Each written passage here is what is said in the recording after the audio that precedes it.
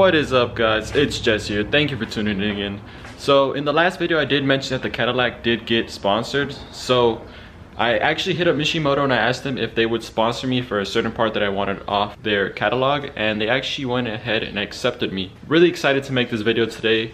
Uh, this isn't really going to be an install guide or anything because they actually do provide you with a proper install guide. So this is just basically going to be me doing it and basically I don't I, what you would be doing if you were to do this yourself uh, and kind of a review uh, because no one really has done a review on this so I think some people might be interested in it and uh, it should help an issue that I'm having. So the issue that I'm having is I've noticed that at, at, at startup I am actually getting a lot of black smoke coming from the tailpipe and I'm pretty sure it's associated with the catless downpipe because once you start running catless downpipe and you don't do a PCM update or a flash or whatever, you are basically running rich and I know until I get the tune, until I get the tune, the issue's still gonna retain, but hopefully by doing this, it should help it uh, because I think the black smoke is coming from blow by if, if I'm not mistaken,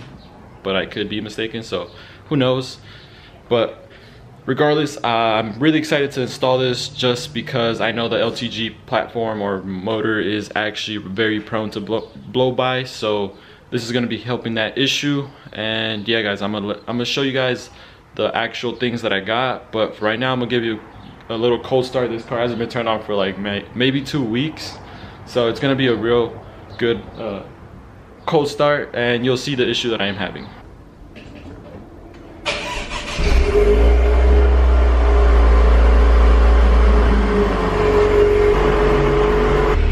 So as you saw in the last clip, uh, there's quite a bit of black smoke coming from the tailpipe. So hopefully uh, the things that I get actually help that. So I'm actually gonna move the car real fast. Uh, I'm thinking about actually making a separate video about my rear big brake kit.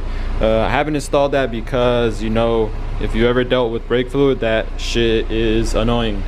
So I'm gonna go ahead and potentially do that today. Uh, I know I have, I'm pretty sure I have everything I need. I also bought stainless steel brake lines for all four corners.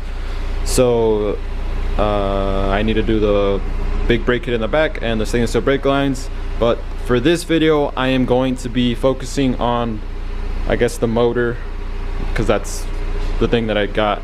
So let me go ahead and do that. But I'm gonna just move it before it gets too hot because then it becomes a hassle. Ah, love that smell of gas in the morning. Man, I didn't even check if there was anything in front of my car. What if I would have just ran some shit over? I've actually done that before. I ran over my uh, my power drill or impact gun, whatever. I ran that shit over in the IS 300 once. I had to buy another one. Pain in the ass, but that's what I get for being a dumbass. So now I am trying to fix my Cadillac inside the garage. I don't know exactly how I want it, but I'm gonna say something like this. Oh shit. Oh yeah. It's not really easy to vlog and drive a stick, even though I'm not really driving it, but you get the gist. So let me go check it out. I think I am good. Let me put the e-brake on. I hate that this this car doesn't come with with a like actual pull e-brake. It's like this little button here. Such a pain in the ass, but whatever. Because when you don't have your key, you can't move that or like disable that. But I guess they do that because then it becomes a harder thing to steal your car because how are they going to disable this if they don't have your key? But I don't get how they would get inside your car without a key either. Anyway, maybe they bust the window, but then what's the point of that shit? Who the fuck wants to run, roll around in a car with a busted window? But, uh, I think it looks pretty good. Let me check this side. Man, this thing stinks like gas like crazy. Like when I first saw these lines, I was so worried, but I've noticed that this actually comes out of the exhaust. Uh, it seems like water. I've actually smelt it before and it's like water but yeah, uh, the car is fuck. It's like disgusting filthy right now, so. Oh well. But the car's still turned on. Uh, it's been, hasn't been turned on in a while, so that's cool. But yeah, let me kill it before it gets too warm. So guys, I went ahead and just laid everything out right in the open. Uh, I'm not gonna lie, I actually did go ahead and make a unboxing video to this. But uh, when I actually made the video, I was kind of scared that it wasn't gonna be the things that I had ordered and exactly as I thought. Uh, they only sent me half of the order.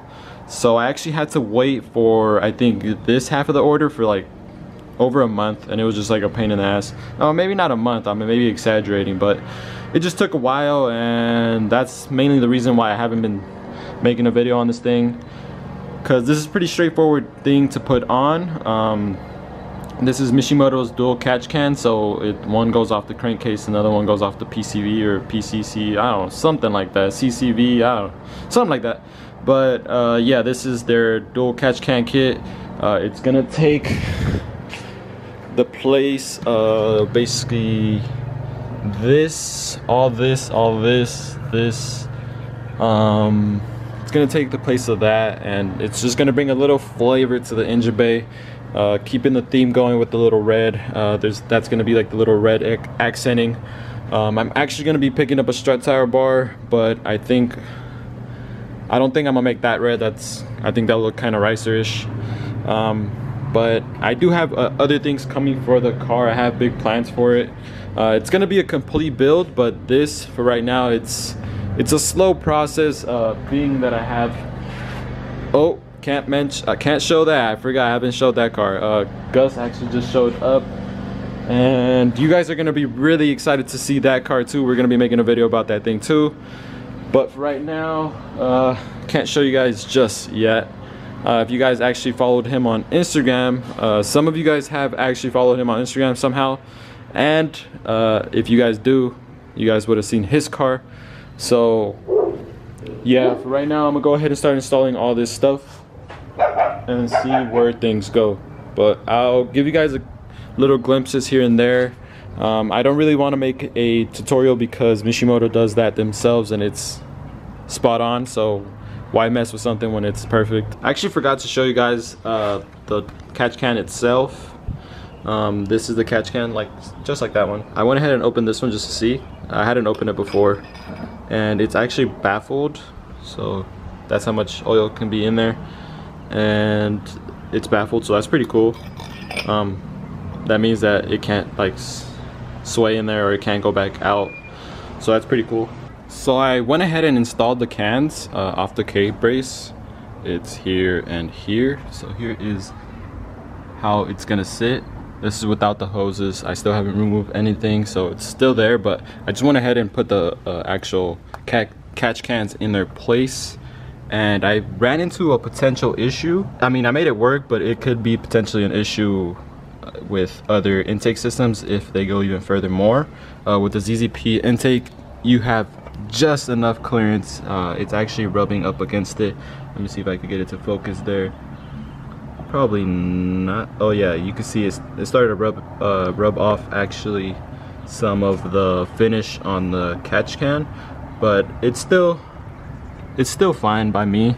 Um, I tried to wiggle it as much as I could closer to uh, the turbo area, but um, I wanted there to be more of a space here here because I feel like uh, when the engine is under load uh, there's potential swaying so I didn't want it to potentially hit that so I left it closer to the actual intake box but just wanted to let you guys know because you see like this on a stock car that's probably not an issue but with other aftermarket products um, you run into the potential of there being issues but for right now I'm gonna go ahead and start removing uh, the the OEM stuff and I'll show you guys what that looks like once I get it out. So this is a piece uninstalled. This in theory, this is what I'm eliminating. Uh, I'm sure it's more complex, more complex than this, but this is just how it goes. Uh, just on the crankcase like that. And then it goes straight to the intake. But um, this is gonna definitely be more of a beneficial thing. All right guys, I went ahead and finished up the install. And everything went smoothly. Um, there were a few little things where I feel like this was unnecessary. They should have just made a hose that would have kind of fit both either forward or backwards. Uh, when you watch the video of the install by Mishimoto you will know what I'm talking about there but uh, it went smoothly. Uh, I might put an extra, a few extra zip ties in a few places so that uh, I'm kind of nervous that this is touching, you know, like there. Um, so I might try to make it so that it doesn't touch back there either. So um, that's the it's installed. All right guys i quickly wanted to make a little outro video. Uh, yesterday i forgot to do that so i'm gonna go ahead and quickly do that. So under the engine bay of the ats uh, i think in the last clip i still hadn't installed the oil cap so there's the oil cap. I really like i really like the like slogan. It says push the limits. That thing is so sick. Like uh, even on the catch cans it says it. Like it's i love that but um just to quickly do a quick little review. I ended up test driving the car yesterday and it felt uh, as standard. You can't really tell. I mean, with that, you can't really tell anything, but um, I'm, I'm pretty sure it's definitely helping the situation. Um, it's definitely catching blow by. Uh, for the first, um, I guess the interval for that, I think it's a thousand miles. So I probably put like 20 miles on it. So it's, it's going to take me a while for a thousand miles to pass, but, um, I will be doing an update video at a thousand miles to see what type of blow by it, uh, it accumulates in those cans right there and right there. I've seen the video, I've seen uh, pictures of blow by or I've seen pictures of people emptying those out and it's like disgusting. One of them looks like milkshake, another one looks like just dirty oil. So yeah guys, uh, just wanted to quickly do that little outro because I forgot to do it yesterday, but uh, it's installed and today I'm gonna be working on the brakes. So uh, look forward to the video on that. Uh, I'm actually, for those of you who actually haven't seen my calipers, um, they look like bananas, so stay tuned.